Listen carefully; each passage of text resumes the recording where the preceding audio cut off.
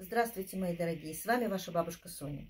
И когда в 93 году приехала э, моя остальная семья, мама, папа, сестра, э, племянник, э, то э, мой племянник обратился ко мне, живущий в Израиле уже два года, и сказал мне, Соня, я очень хочу поменять себе имя.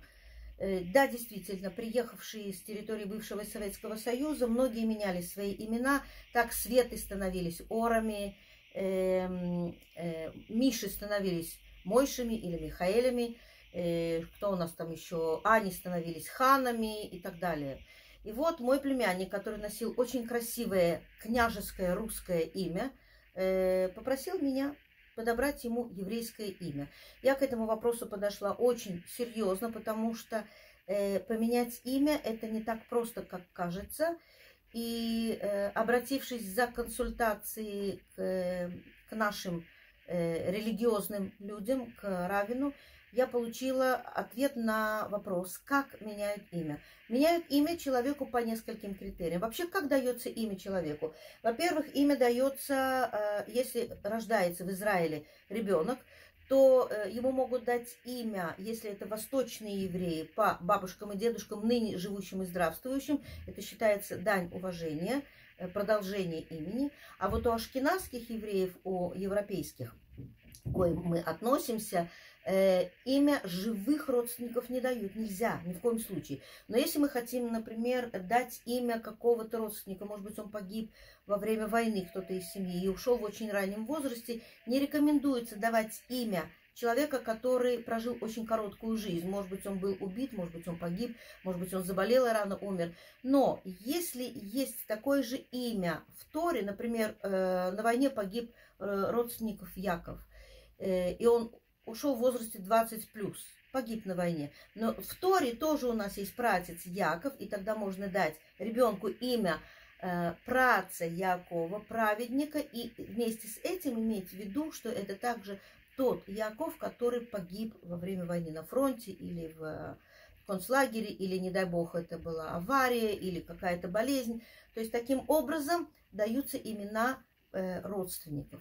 Есть еще один способ дать имя. Это когда человек заболевает и, и существует опасность для его жизни, или человек при смерти, или врачи не дают шансы, или вообще опасно, тогда мужчинам, мальчикам прибавляют имя Хаим, от слова жизнь, а девочки дают имя Хая, э, то же самое в женском роде. Есть еще один способ э, дать имя человеку, это по его недельной главе. А это значит, что проверяется дата рождения человека, смотрят, какая недельная глава в это время читалась в синагогах, э, смотрится, если есть там имя подходящее девочку, девочке или мальчику. И если есть подходящее имя, то можно взять э, имя из недельной главы.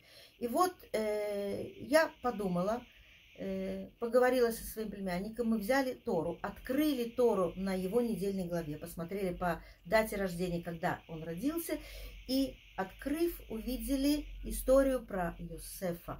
Йосеф, который совершил совершенно головокружительную политическую карьеру, э, будучи проданными братьями в Египет, э, он сначала из, из управляющего богатым домом, он попадает э, по ложному доносу в тюрьму, в яму, и потом с этой ямы, отсидев 12 лет, его приводят к фараону, и он совершает совершенно невиданную политический взлет, он становится практически правителем Египта, а Египет на тот момент это была не какая-то провинциальная страна, это была страна самая главная страна в мире. Это была империя, э, которая правила всем миром. И вот так вот из ямы совершить такой э, спрыжок, э, вот такая карьера, это было только у Йосефа. Больше никто так не вознесся. Можно еще сказать, что у женщин э, похожую карьеру сделала э, Эстер, как, когда из э, жены Мордыхая она стала царицей 127 э, стран Персидской империи, но тем не менее она, она не была рабыней. А вот Юсеф был рабом, которого возне, э, Всевышний вознес на э, престол славы. И вот я говорю моему племяннику, а ты хочешь быть Йосефом? Мой племянник так покатал это имя на, скажем так, на языке. Йосеф, Йоси, Йосик, Йосика, Йосеф, Йосеф. И он сказал, я согласен. Вы знаете, э, прошло уже очень много лет. Мой племянник из молодого парня, который пошел в израильскую армию, уже давно отец семейства, э, ему уже за 40, он уже уважаемый человек, но имя Юсеф на него оделось, как перчатка одевается на руку, и оно настолько с ним влилось, что с другим именем мы его себе просто не представляем. То же самое э, произошло э, с моей старшей дочерью. Она приехала сюда в возрасте 7 лет с очень красивым именем Элина. Э, и когда моя дочь э, в 20 лет собралась замуж, э, тут выяснилась такая вещь, что маму, будущую ее свекровь, маму ее мужа, э, зовут Илана. Она Элина, а мама зовут Илана.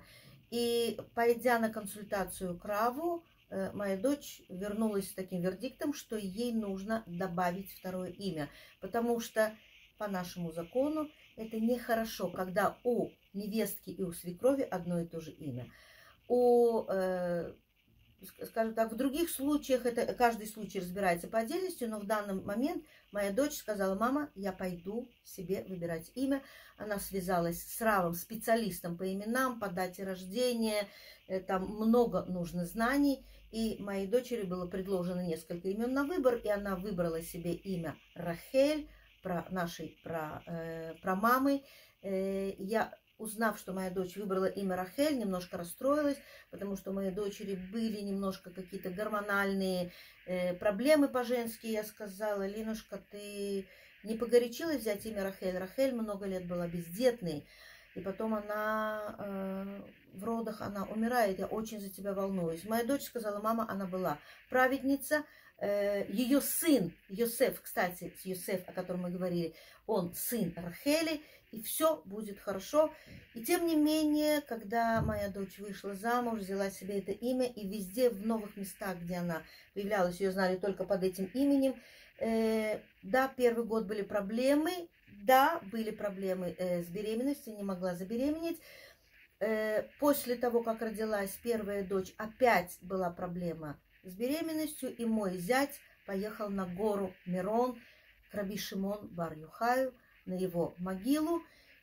Те, кто просят, о, э, молясь на могиле этого праведника, просят у Всевышнего дать им ребенка, если рождается сын, то его называют Шимон по имени праведника Раби Шимон Барюхай. Почему молятся на могиле? Потому что просят, чтобы заслуги праведника, чтобы праведник помолился вместе с тобой Всевышнему и помог когда у моей дочери родился сын, естественно, что его назвали именем Шимон. Э, мы с вами говорим об именах, и вы можете сказать, какое отношение это имеет к недельной главе. Говорят, как корабль назовешь, так он и поплывет. Когда очень много лет назад я открыла эту недельную главу, читаю про грех Золотого Тельца, читаю про национальную трагедию, что Бог Всевышний э, э, говорит Моше, спустись и посмотри, как развратился народ твой. Моше э, разбивает скрижали. Бог Всевышний хочет нас уничтожить. Мы читаем про национальную трагедию. Как вы бы назвали эту недельную главу «Золотой телец», «Разбитые скрижали», э, «Трагедия еврейского народа», «Гнев Всевышнего». Нет, мы открываем недельную главу и читаем такое название Ки-Тиса. В переводе, когда пересчитаешь сынов Израиля поголовно. Простите, но я немножко знаю иврит, и немножко знаю, все-таки 30 лет в Израиле, преподаю на иврите. Слава Богу, работаю от Министерства просвещения, допущена в школы. С плохим ивритом я в школы на преподавание не была бы допущена. Но я Э, ну, никак бы не перевела ки, киса, это рошихем, я бы не перевела, когда пересчитаешь сынов Израиля, я бы перевела это другим словом. Э, когда э, женщина выходит замуж, она считается несуа.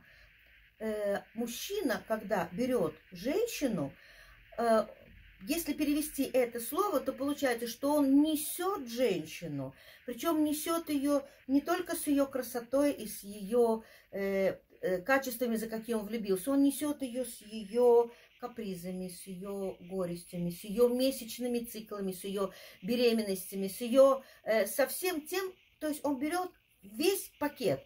Он не может взять только хорошее, он берет женщину и несет ее всю свою жизнь. А отсюда замужняя женщина считается несуа, то есть несенная или вознесенная. Отсюда масаид в иврите того же корня это грузовик, который перевозит грузы. Отсюда слово наси. Наси Медина это э, президент страны, который как бы на вершине пирамиды, который является лицом государство, которое представляет весь свой народ. За ним весь свой народ. Он как бы за собой тянет весь свой народ. Так почему пересчитать сынов Израиля это ки, тиса? Если бы я переводила эту главу, я бы ее перевела так. Когда поднимешь их головы. Ребята, когда нужно головы поднимать?